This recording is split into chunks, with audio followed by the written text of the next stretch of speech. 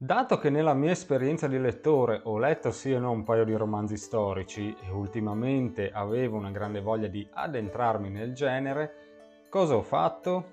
Beh, sono andato su Amazon, ho iniziato a spulciare i miei bei romanzi storici, chiaramente mi sono capitati subito sotto mano quelli di Manfredi, che chi è appassionato del genere sicuramente avrà letto e conoscerà, e chiaramente cosa ho fatto? Ho comprato un saggio e non un romanzo storico, ecco.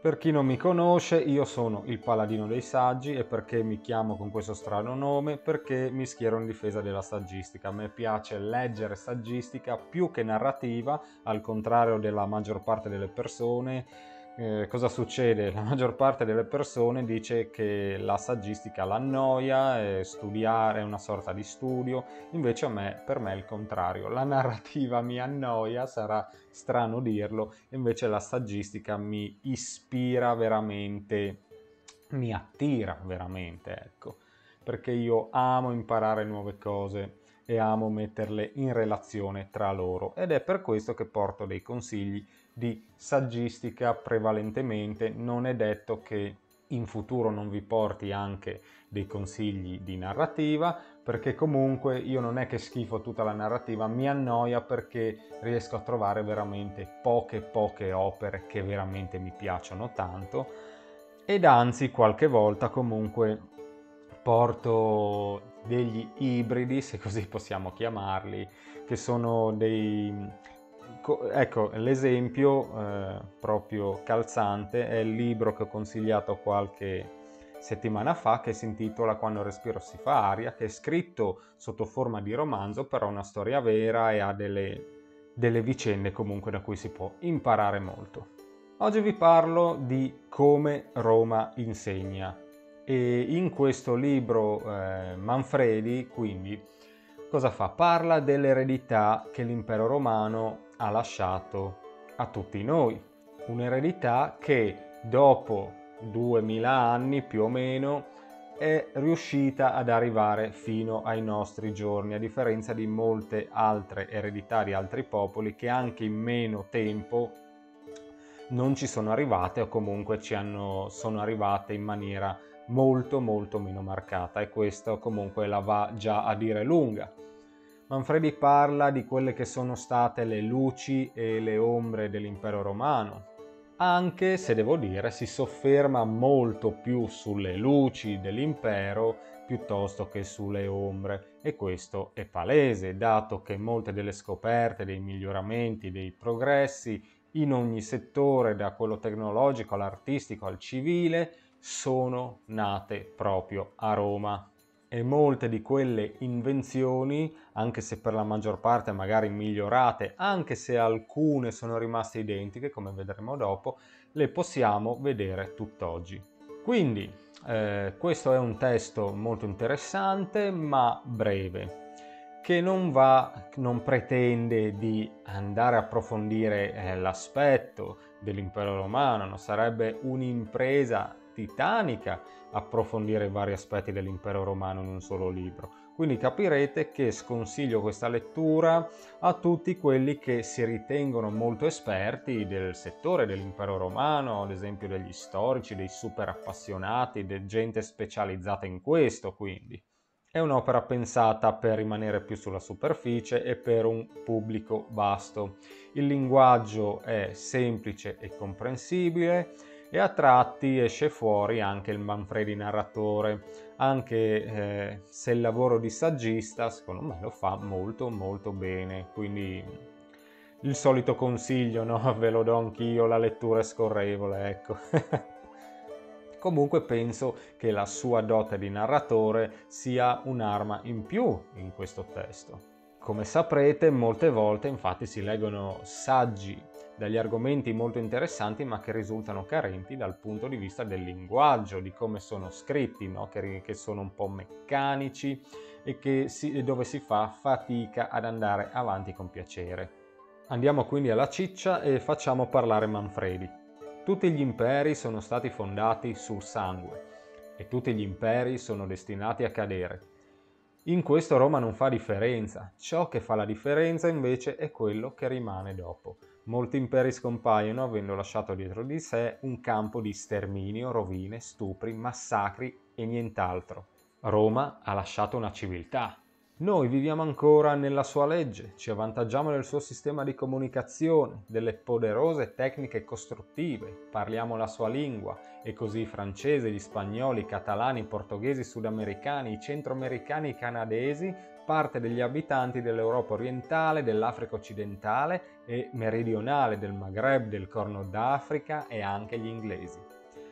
Alcuni dei popoli che sono stati interessati dalla dominazione romana non avrebbero poi avuto nessuna pietà quando a loro volta si sarebbero trovati nel ruolo di invasori in Italia, Spagna, Gallia o Africa.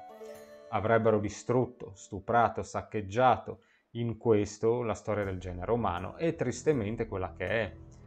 Gli altri non erano migliori, ancora una volta la differenza è in quel che rimane dopo o che non rimane affatto. Come si capisce dal libro, eh, l'impero romano era sotto ogni punto di vista molto più evoluto di altri.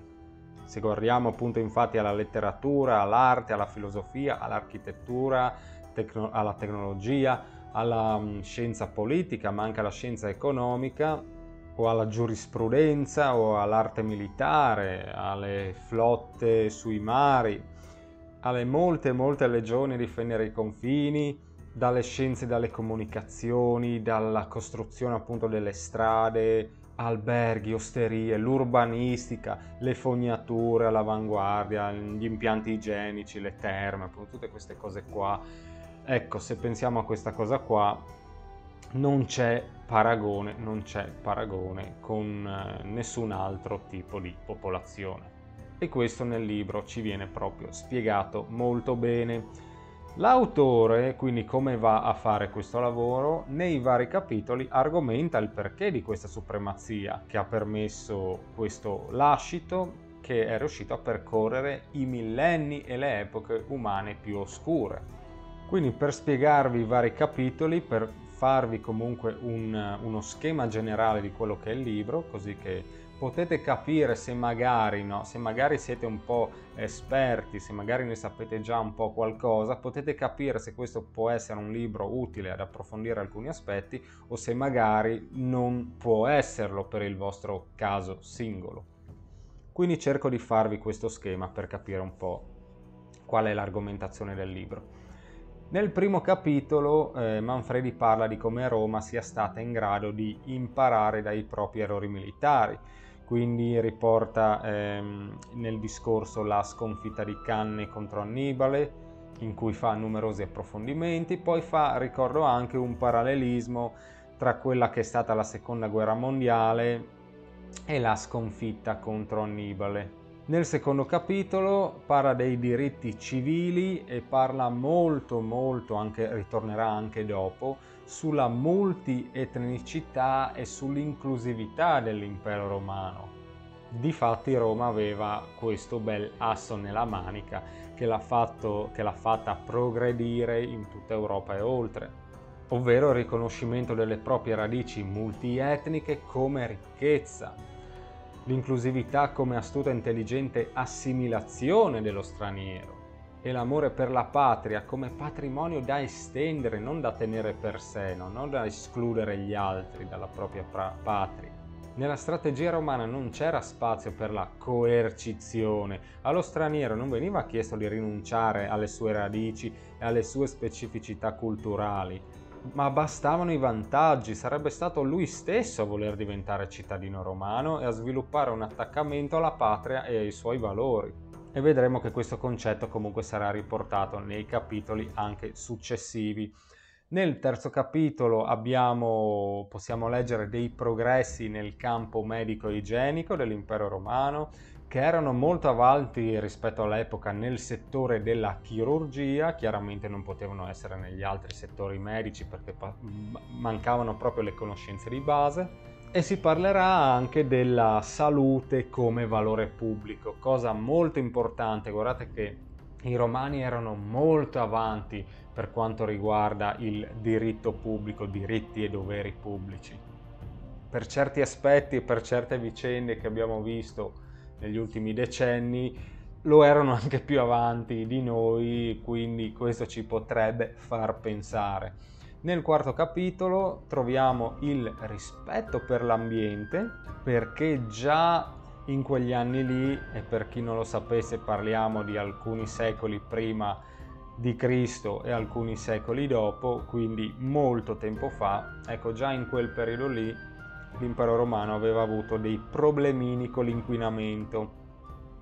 Non ve, la, non ve la sto a fare lunga, ma date le enormi produzioni in tutti i settori di una civiltà che mettevano in gioco, anche loro avevano, avuto, avevano cominciato ad avere dei problemi di inquinamento. Quindi in questo capitolo si parlerà appunto degli acquedotti, delle rete fognarie, dello smaltimento dei rifiuti, dei rifiuti, urbani, di come cercavano di mantenere puliti i fiumi o eh, tutto l'ambiente appunto circostante. No, mm, mi viene in mente la città, no? le città appunto che fonda- i romani fondavano sempre queste città lungo i fiumi per cercare di smaltire no? i rifiuti, per non tenerli nella città o mi viene in mente le, le, legioni romane che quando si spostavano la prima cosa che facevano in un accampamento era costruire delle latrine a differenza di, popo- di altre popolazioni. Questo evitava le epidemie, le malattie. Nel quinto capitolo vedremo ancora, Manfredi tornerà ancora sull'inclusione di altri popoli, su appunto eh, l'inclusione di uh, alcuni popoli come gli Etruschi, come i Celti, come i Greci, come addirittura i Barbari. I Barbari non erano un'eccezione. Eh, chiaro, eh, non è che mm, voglia farvi passare che i Romani erano i più buoni di tutti, semplicemente avevano capito che non, il gioco non vale la candela, cioè non vale la pena eh, mm, fare lotte inutili verso, contro il diverso ma è molto più remunerativo includerlo propria, nel proprio impero, eh, concedergli la libertà di esercitare tutto quello in cui lui crede, dalla religione a, a tutte le altre sue usanze, e, e usare le sue, le sue capacità a proprio vantaggio. Chiaramente era una sorta di compromesso. Eh, ve lo spiegherò dopo, ecco, anche quando, quando, ci torniamo nel capitolo fra poco, tanto sulla religione, vi spiego anche una sorta di compromesso che facevano. Quindi se qualcuno pensava ai romani come una sorta di emblema della purezza razziale e della superiorità della razza bianca, ecco, i suoi primi abitanti, si legge dal libro, furono proprio eh, invece eh, il risultato della fusione di almeno tre popoli che sono i Latini, i Sabini e gli Etruschi. Quindi eh, ci viene confermato appunto che Roma è nata polietnica. Nel sesto capitolo vediamo eh, quello che sono stati l'ingegno e le tecniche tecno- tecnologiche dell'impero che ha dominato il mondo intero conosciuto fino a quel momento per la sua capacità, questo è molto importante, di dominare l'acqua. Se consideriamo attentamente la struttura dell'impero romano, vedremo che si tratta sostanzialmente di uno Stato di tipo moderno. Ci sono un sistema politico, c'è un sistema finanziario, c'è un sistema militare, una burocrazia perfettamente funzionante. Esistono il principio per cui la legge è al di sopra di qualunque autorità e il concetto di cittadinanza che prevede diritti e doveri. La letteratura è ricchissima così come ogni altro settore culturale. Le opere pubbliche sono improntate a un'idea di utilità collettiva che sopravanza ogni altro fine, fosse anche la celebrazione del potere. Ma il vero motore, come dice Manfredi, che permise lo sviluppo e il progresso di Roma fu la sua prodigiosa capacità tecnologica. Si è quasi tentati di vederla come un talento naturale dei latini, che forse non furono mai un popolo di filosofi o di mistici, ma di certo furono un popolo di guerrieri e ingegneri. Difatti le filosofie, le... i settori più mistici li appresero appunto dalla cultura greca. Vero è però che il progresso tecnologico fu in gran parte possibile grazie alla manodopera servile. ma con alcune particolarità che resero il caso romano decisamente diverso da quello di altre società schiavistiche antiche. Comprensibilmente uno schiavo lavora e rende solo quel tanto che gli evita di essere punito. Per questo i romani incentivarono il rendimento della manodopera servile, permettendo agli schiavi di lavorare part-time e di mettere da parte i risparmi che sarebbero serviti in futuro per riscattarsi dal padrone.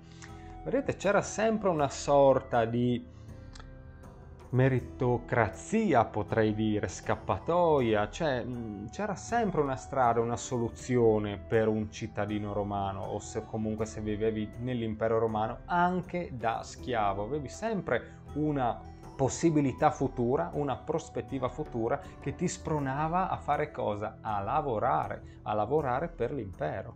Nel settimo capitolo vediamo quelle che sono state le pandemie in quell'epoca Ehm, non poteva mancare quella che è stata definita la peste antonina, non vi spiego il perché del nome, la farei troppo lunga, e non poteva mancare chiaramente un parallelismo con questa qua e quella eh, che è avvenuta eh, oggi, eh, ai nostri giorni, e l'influenza del 1918, la cosiddetta spagnola.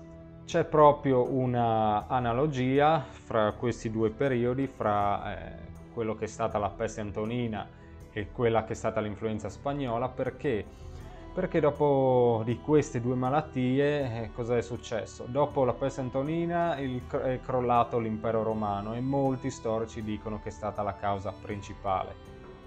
È avvenuta anche dopo di questo una decadenza mentale e filosofica che che appunto ha lasciato spazio al periodo oscuro che conosciamo, alle superstizioni, agli esoterismi e via dicendo. Mentre cosa è successo? Eh, nel 1918, dopo questa grande influenza spagnola, cosa è successo? Sono arrivati i governi totalitari, che è stata un'altra appunto decadenza del genere umano. Nell'ottavo capitolo, che mi è piaciuto molto, molto interessante, abbiamo eh, un approfondimento sulla religione l'impero romano era basato su un politeismo inclusivo, come vi ho spiegato prima appunto. E, ehm, il capitolo parla più che altro della, di quella che era questa religione romana contrapposto a quello che Manfredi chiama il fanatismo cristiano. Difatti i romani non perseguitarono mai, non fecero mai eh, delle guerre di religione, è capitato pochissime volte che abbiano perseguitato appunto i cristiani, ma viene spiegato che è stata una sorta di, mm, di difesa perché gli stessi cristiani all'inizio, almeno così è scritto nel libro, eh, diciamo che perseguitavano, ecco, cercavano con ogni mezzo di distruggere altri credi e, e quello diciamo un po' che, che succede con i fanatici, ecco, coi, dove un gruppo di persone eh, ha la verità assoluta e vuole portare quel messaggio, vuole eh, cambiare le menti altrui in modo sì che credano anche loro ciecamente a questa verità assoluta e tutto quello che viene detto di diverso deve essere distrutto.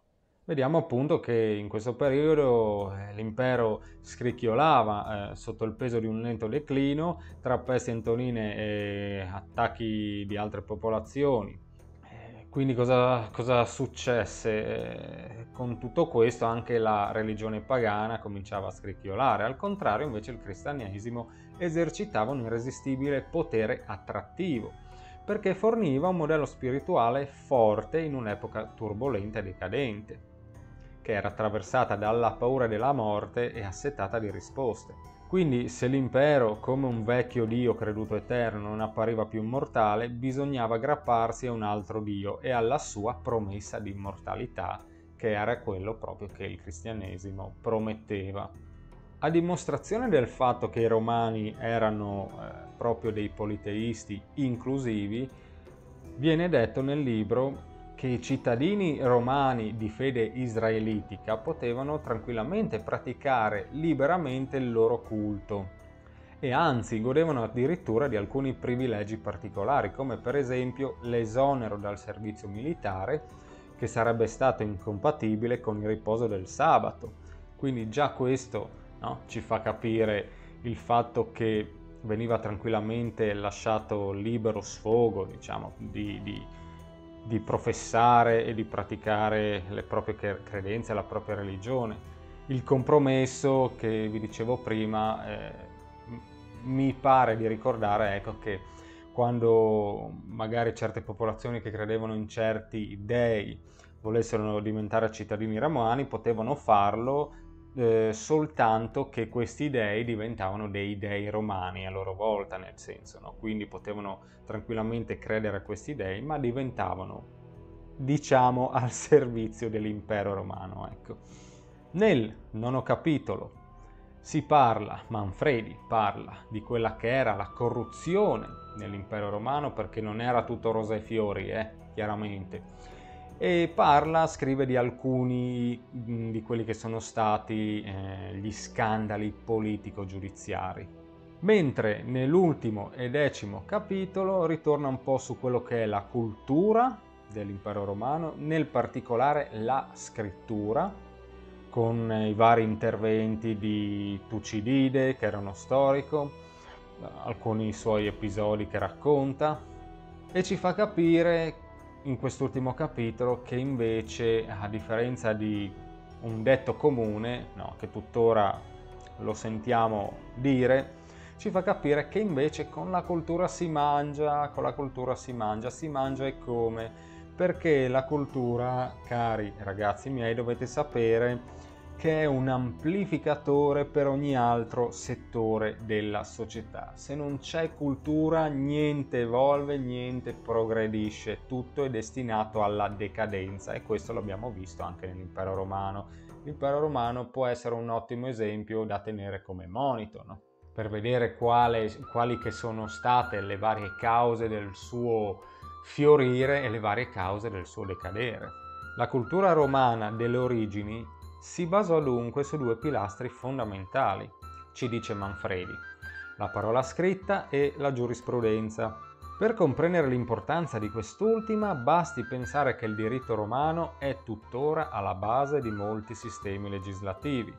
Il resto, la filosofia in primis, era considerato futile o pernicioso, roba da greci, ma col trascorrere del tempo i romani compresero l'importanza di sviluppare una cultura che abbracciasse tutti i campi della vita sociale. Solo così si potevano produrre libertà, coscienza civica e capacità di gestione politica. Insomma, la cultura nel senso più vasto e generale del termine era garanzia di stabilità e progresso.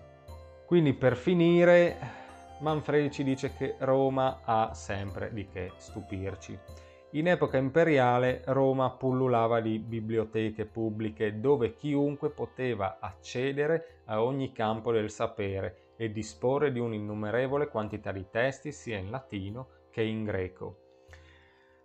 Ecco, queste sono cose che, ci, che almeno a me certe cose mi hanno stupito, no? Come il sapere appunto della presenza di queste numerose biblioteche in quel periodo lì, perché se noi pensiamo al Medioevo che è arrivato dopo, no? Alla, al pensare che, che, delle persone potevano andare in biblioteca a leggere, ci, ci, ci si accapponano i capelli, no? Come, come si potrebbe pensare, no? Chi, chi, mai andrebbe a pensare che in quell'epoca lì c'erano le biblioteche e una persona era così libera comunque di, percorrere la sua strada, di andare a leggere, no?